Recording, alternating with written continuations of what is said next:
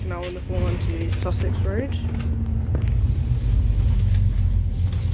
The last bus of today. These are our Arriva seats, 412 seats. 412. Sussex Road. History of 412. Let's get started.